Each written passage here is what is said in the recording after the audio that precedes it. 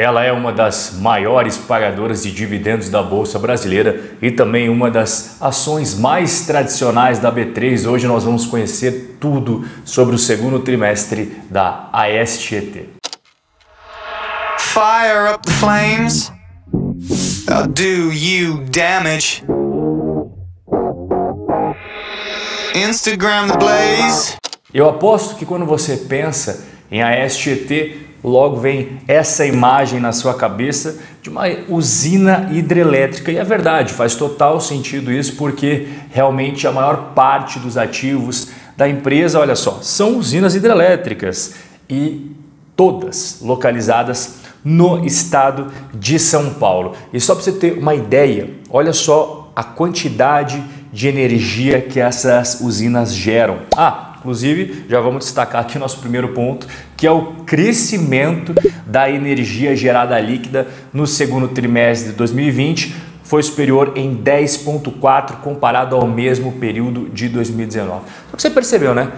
Todas as usinas localizadas no mesmo lugar, ou seja, no estado de São Paulo. Isso faz uma concentração muito grande. Então a empresa ela começou um projeto de diversificação e não apenas diversificação geográfica, mas também diversificação das matrizes energéticas, não depender apenas da fonte hidrelétrica e outras fontes também, como essa que você está vendo na tela. Isso daqui é a foto de um ativo da empresa, fonte eólica. E olha só que legal, aqui você está vendo quais são os complexos eólicos da empresa, sejam aqueles que já estão operando ou sejam aqueles que estão em fase de desenvolvimento. E não tem apenas eólico não, tá? Tem mais uma fonte diferente aí dessas duas, que é a fonte solar. Olha só que bacana. Isso aqui é um campo de painéis solares, olha só a quantidade que tem. E também, né, a empresa tem aqui, olha só, complexo Guaimbê, complexo Ouro-Oeste. Enfim, tudo isso daí que você está vendo faz parte desse projeto de diversificação da empresa para não depender só de matrizes energéticas de fontes hidrelétricas, hidráulicas, perdão, dentro do estado de São Paulo. Bom, a gente viu ali que houve uma melhora na energia vindo das fontes hidrelétricas, mas em questão de produção nessas fontes alternativas, como é que foi? A energia gerada bruta dos parques eólicos teve uma pequena redução de 5,3%, mas energia gerada bruta nos parques solares, variação positiva de quase 57%. Vamos falar de dinheiro, vamos falar da parte financeira aí da SGT. Começando com a receita líquida, teve uma variação negativa de 2 pontos percentuais, só que a gente vê no segundo destaque amarelo que teve uma queda bem grande nas despesas com compra de energia elétrica, uma redução aí de 47%. Com certeza isso ajudou e muito a chegar ao nosso terceiro quadradinho amarelo, que é o lucro bruto. Ele foi 35% melhor no segundo trimestre de 2020. E além disso, o EBIT das resultados operacionais antes de pagar imposto de renda, juros sobre a dívida, antes de contemplar depreciação e amortização, também cresceu 21,8%. Então, olha só que interessante. Já em relação especificamente ao EBITDA, a gente precisa entender por que, que houve essa, essa melhora. A gente já viu ali alguns pontos, mas tem outros, tá? Então, primeiro, Olha só que interessante este gráfico aqui. Você consegue perceber que as fontes hídricas auxiliaram esse resultado positivo, esse crescimento do EBITDA. As fontes eólicas também auxiliaram, mas o principal ali em questão de melhora, tá? Em questão de resultados em milhões de reais para o EBITDA foi as fontes solares. É, então realmente tudo isso acabou ajudando a ter esse EBITDA melhor. E após o EBITDA nós temos os gastos com juros e as entradas de juros devido às aplicações financeiras que a empresa tem. Primeiro ponto, as receitas financeiras acabaram caindo 33%, tá? A empresa recebeu menos juros das suas aplicações financeiras, só que as despesas financeiras caíram 40% e as variações cambiais acabaram aumentando 200%. Vamos entender isso daí, por isso que eu deixei destacado em amarelo, tá? Primeiro ponto, as menores despesas foi porque realmente a STT pagou menos com encargos da dívida e a atualização monetária das suas debêntures, ok? Já em relação às variações cambiais, o que aconteceu? Foi a reavaliação do processo de repasse de energia da Itaipu. Então a STT entendeu que é improvável o desembolso da provisão que ela fazia relativa a esse caso, e isso daí acabou contribuindo e muito para esse resultado financeiro positivo da empresa. Então a gente vai agora para a última linha do balanço, que é o que todo investidor quer saber. O lucro líquido subiu, então, portanto, devido a tudo isso que nós analisamos juntos,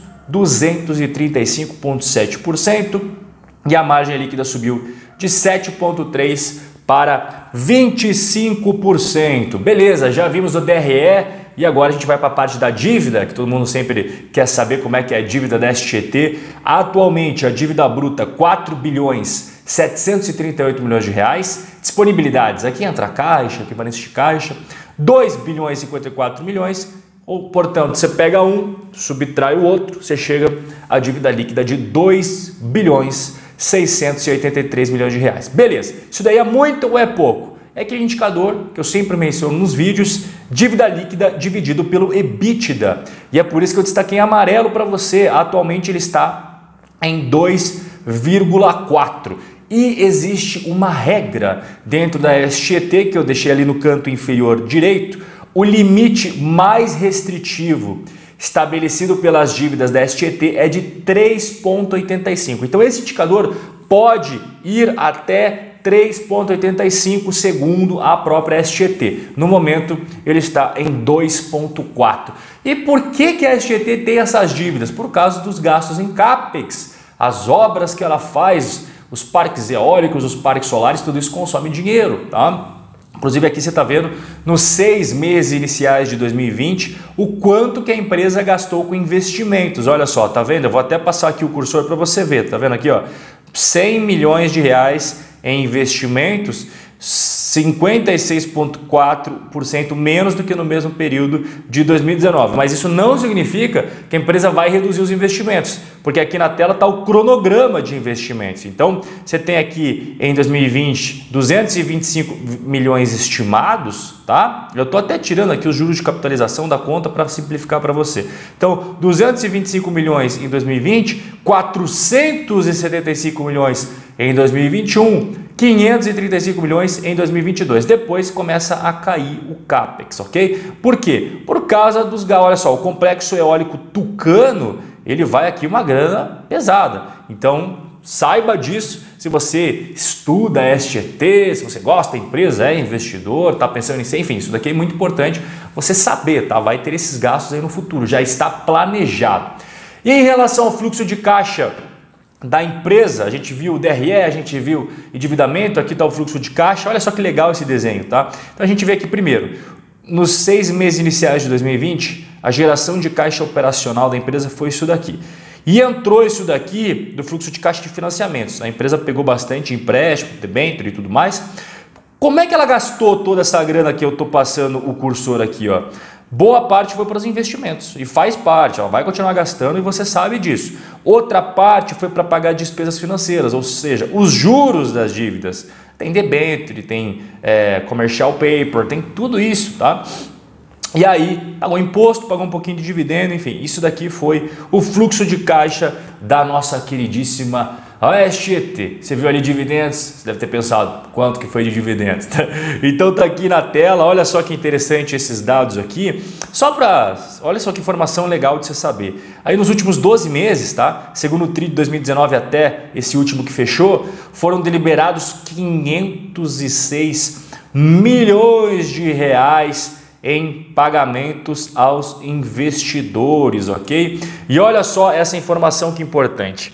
A administração da SGT aprovou a distribuição de 132 milhões como dividendos intermediários do segundo TRI 2020. Então esta aqui será a quantia por ação ordinária e preferencial e essa daqui, ó, será a quantia por unit, 33 centavos. Isso corresponde a 112% de payout e dividend yield de 8,9 nos últimos 12 meses. Vão ter direito a estes proventos os investidores que têm as ações até 10 de agosto, ok? A partir de 11 de agosto será negociada ex-dividendos. Em relação à cotação da SGT aí no longo prazo, a gente tem de 2016 até 2020. É, a empresa tem momentos de altas e baixas, igual você está vendo, tá? Tem bastante volatilidade no preço da ação. E olha só, nesse período que eu mencionei, ela, a, a STT, a TIET 11, que são as unidades, subindo aí 18% na bolsa brasileira. E o histórico do lucro, né? O investidor de longo prazo sempre gosta de ver. Eu postei no meu Instagram, inclusive, olha só, tá aqui o post. Então aqui você está vendo 2016, 2017, 18, 19 e os seis meses iniciais de 2019 comparado aos seis meses iniciais de 2020 que você acabou de conferir junto comigo. Inclusive aqui embaixo eu vou deixar o link para o meu Telegram e para o meu Instagram. Tem conteúdos exclusivos lá, eu tenho certeza que você vai adorar. Um forte abraço e a gente se vê no nosso próximo encontro.